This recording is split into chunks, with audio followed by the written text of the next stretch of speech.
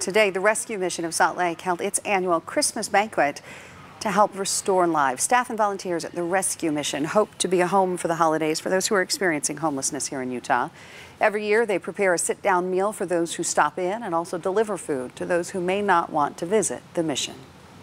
Encouraging people to recognize that they have things in their life that they can be thankful for, that there's organizations like the Rescue Mission to help them, and that we want to help them address the causes of homelessness.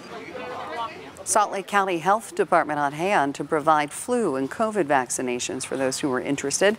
And winter clothing donations were distributed. If you would like to volunteer at the mission or make a donation, we can link you to their website at fox13now.com.